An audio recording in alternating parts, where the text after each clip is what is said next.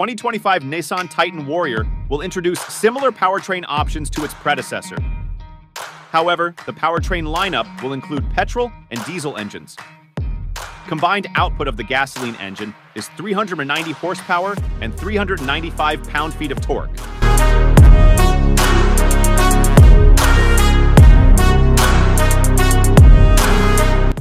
Reports indicate that this new generation of engines for the 2024 Titan Warrior will receive a major torque increase, potentially reaching up to 600 pound-feet of torque.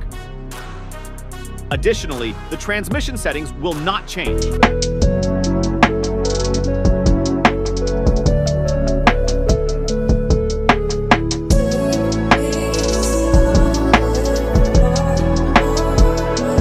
The petrol engine will be mated to a 7-speed transmission, while the diesel engine will be equipped with a 6-speed automatic transmission.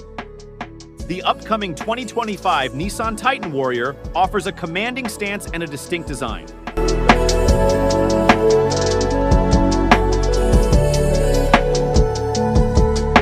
The overall look is modern and undoubtedly superior to the Titan XD's exterior.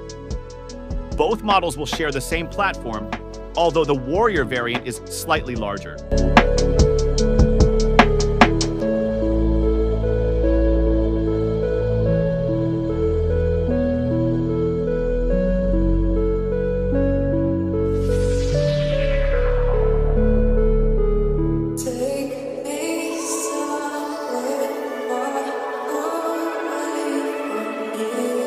It features a more upright grille, LED lighting, a vented hood, muscular fenders, and fat tires wrapped around the concave wheels. In essence, the hypothetical 2025 Nissan Titan is an overlander ready to take on some arduous tracks, and it is a pity that it doesn't exist in the real world.